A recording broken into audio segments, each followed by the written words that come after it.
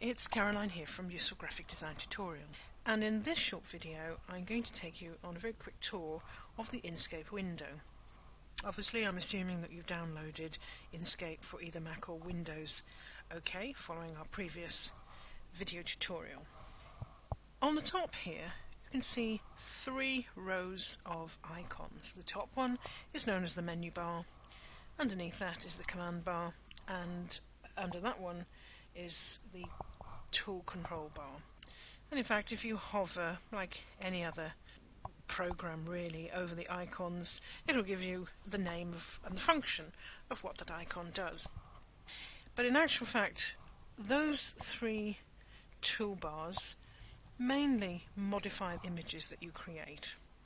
And how you create the images is using the tools on the toolbar, which lies down the left hand side here. So those are the main instructions there. Along the bottom you've got the colour palette which you can move through the colour spectrum by scrolling across. You can also access that using this button here which is called the fill and stroke or we've got nothing actually on the desktop so there's no colour palette in there at the moment. Other tools we will be using include the magnifying glass here. If you click on that, here's the toolbar command that will be zooming out or zooming in. The text tool, which is this letter A here, and uh, once we've typed text, then we can modify the font style over here, the font family tool. And a couple of other really important uh, commands really. Control Z that edits the last action, or you can go up to the menu bar here, menu and undo. Oops, see that's the shortcode there, Control Z. Okay, now if your setup looks slightly different to mine, and it might do, well, there's a couple things you can change. I'm using a 15, 15 inch laptop, and I've had to modify mine slightly. But if yours looks very different, go into View, and down the bottom here, you've got four options wide, custom, default, and full screen. And in essence, that will depend on the size of your monitor.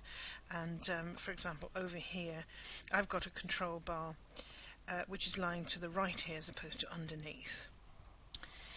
Um, another thing you can do to change, and I have done this as well, is to modify the size of the tool icons here. And to do that, you go up to this uh, menu command here, Edit Global Inkscape Preferences, if you click on that, and then look for the interface tool, which is there, and then you can see here you've got the various options for toolbox icon size, control bar icon size.